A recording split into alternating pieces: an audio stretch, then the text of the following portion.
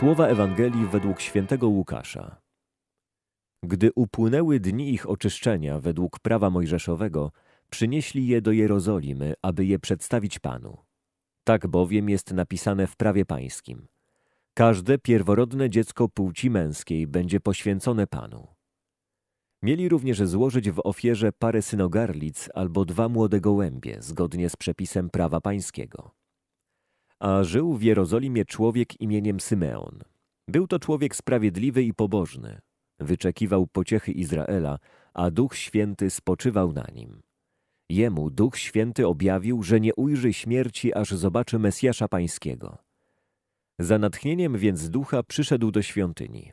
A gdy rodzice wnosili dzieciątko Jezus, aby postąpić z nim według zwyczaju prawa, on wziął je w objęcia, błogosławił Boga i mówił – Teraz, o władco, pozwól odejść słudze Twemu w pokoju, według Twojego słowa.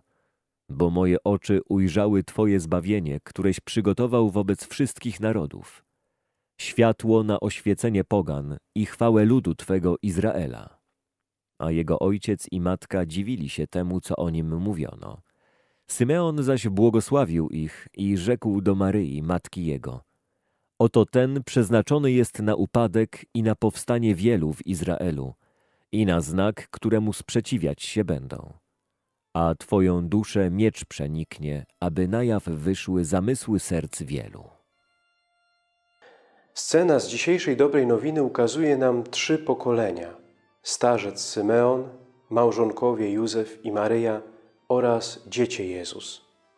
Wzrok Symeona słabnie – jego oczy powoli gasną.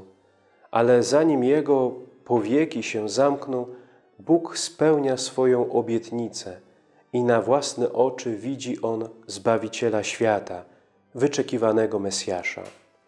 Całe swoje życie czekał na ten jeden dzień, aby móc ujrzeć Syna Bożego. Jego pragnienie się spełnia. Starości nie mierzy się liczbą lat, ale mądrością – Mądry jest ten, kto wyczekuje spełnienia obietnic Bożych, a nie pokłada ufności w ludziach lub książętach, jak podpowiada nam psalmista. Bóg dotrzymuje swoich obietnic, jest On zawsze prawdomówny i wierny swojemu Słowu. Uchwyćmy się dziś Słowa Bożego, jak pewnej skały, tak jak uczynił to święty Symeon – Zwróćmy uwagę jeszcze na jeden szczegół. Symeon ujrzał coś, czego nie potrafili jeszcze dostrzec sami rodzice Jezusa.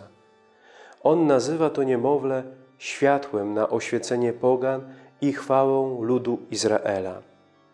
Nie wypowiada tych słów sam od siebie, lecz prorokuje pod natchnieniem Ducha Bożego. Jednakże łaski tej dostępuje dzięki swojej niezachwianej wierze i ufności, pokładanej w Bogu. Jego słabnące oczy widzą coś, czego później nie będą w stanie zobaczyć oświecone umysły możnych tego świata. Prośmy dziś o taką pokorę i wierność Słowu Bożemu, abyśmy potrafili tak jak Symeon dostrzegać spełnienie się obietnic Bożych w naszym własnym życiu.